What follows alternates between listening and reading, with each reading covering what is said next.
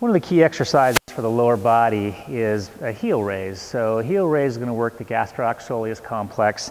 Very important for balance and for gait um, to have that um, adequately strong. So the first thing we're going to have you do is just what we call a, a bilateral heel raise. So you're going to raise up onto both toes and raise your heels up off the ground as far as you can. So come up on your toes, push up through those, good, and then back down, nice and slow and controlled. And up again, good. And just using your hands only for a little bit of support, but not pressing through those, good. One more, good, excellent. So now, once they can accomplish that fairly easily, um, then we can make it a little more challenging. So there's a couple of different things we can do. So first thing I'm going to do, we're going to lower this step, place it down. You're going to go ahead and place one foot on the step, and place the other foot back just a little bit behind you. So place that back, good.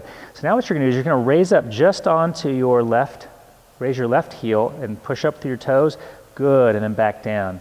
So now we've got her in a more of a stride stance position, similar to gait, and she's pushing off like she's in a push-off position here. And now most of her weight is shifted back to that back foot. So she can still use the right foot for a little stability and adjust how much control or support she's and how much weight is shifting to the back foot. So it's a little easier doing this than progressing directly to a single leg heel raise, which is very difficult for a lot of older adults.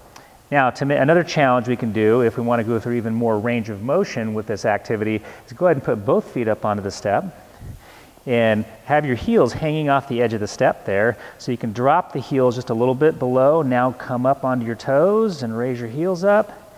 Good. And back down over the edge and back up. Excellent. Okay, good.